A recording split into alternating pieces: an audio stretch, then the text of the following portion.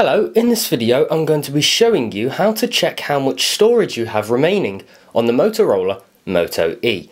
Now this gives you a breakdown of how much storage you've used, how much you've got left and exactly where your storage is going. For example, it will highlight applications more if you've got a lot of applications as opposed to music and photos. So we go to settings and once we're in settings we scroll down to storage under device and it takes you to a graph and well sort of like a chart. So you can see what we've used. Total space is 2.17 gigabyte.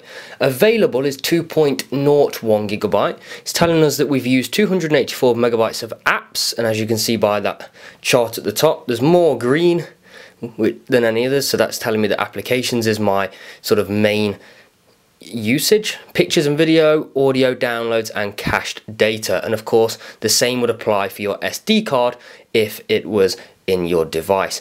It's as easy as that though to check the storage on Motorola's Moto E.